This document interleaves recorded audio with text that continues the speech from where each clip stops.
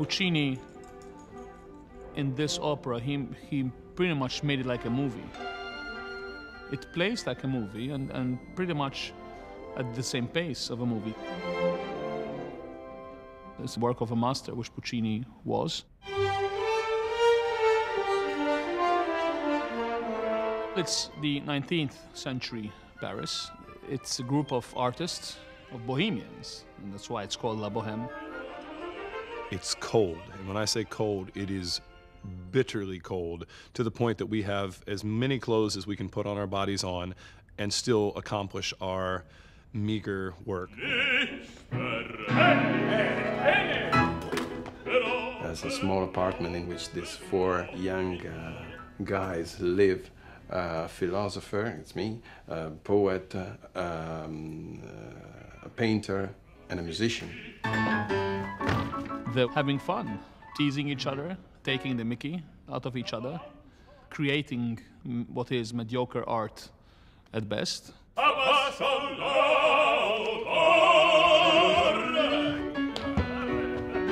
It's very meager living. We feed our soul rather than our bellies.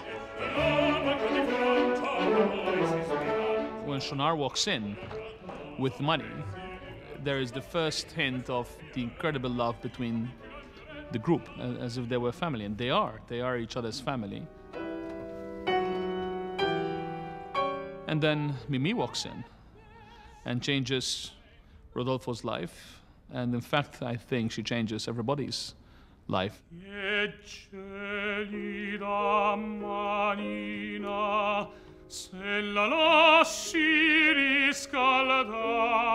She's been living in the house and uh, she knows all of them by the names. And uh, of course, she knew who Rodolfo was because she was probably listening every time they was passing through the staircase. And um, she knew why she came, not only because of the light. She came to um, try to, to change something in her very lonely life uh, with the hope there will be something. As he's doing that, Anna, you see, you, you see him closing door. It's lovely because he's closing the door, makes it more intimate and more special.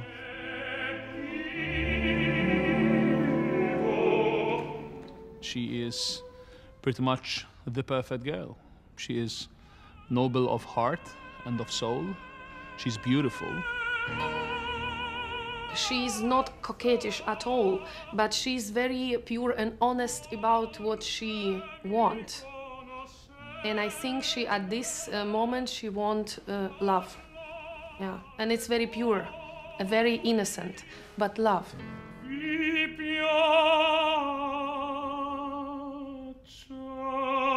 dir.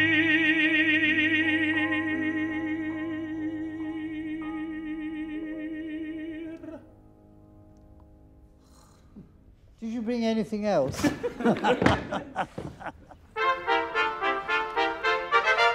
Mimi's beauty is understated. It's, it's also a classic, you know, beauty you find in portraits.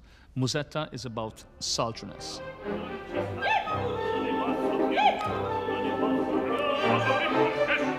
She's the type of girl that when she walks in a restaurant or a bar, every man, you know, um, um, and sometimes woman, just look at her, wow, who is this bombshell?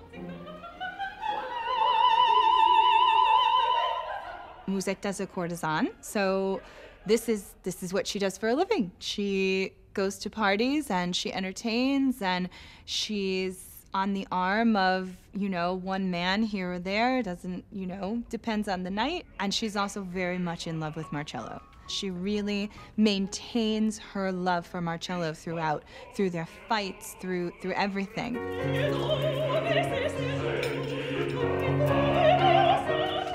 Musetta, it's totally opposite of Mimi. It's nice to uh, to see the difference between two girls and uh, also between uh, uh, two guys. And I think uh, it's it's good what they are like they are. The, the one couple and another one, completely different. Marcello and Musetta are a mess. They are together one minute, they're apart, the next minute they're together, they're apart. They love each other, they're mad at each other. But somehow it breeds fire in them, this, this sort of relationship.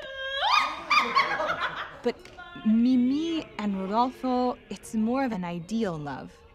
You know, it's it's one that two people meet and there's you know their eyes meet and they're star-crossed lovers and and there's this love at first sight and it's kind of this poetic love. But when there are problems with Mimi and Rodolfo, they don't deal with it as well, which, you know, creates a lot of conflict within the opera.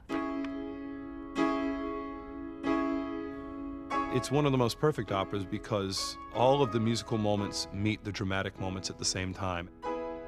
Puccini is so good that um, he, once you're in it, he doesn't let you get out. And um, in the last act, uh, I, I invariably cry. I think it's impossible to finish the Bohème without emotion. Yeah, absolutely. Yeah, yeah. It's one of the most beautiful productions of La Boheme in the world. And I have to say, even if I wasn't a performer, I mean, it, it, it is hard to say goodbye. It's a piece of, you know, Royal Opera House history.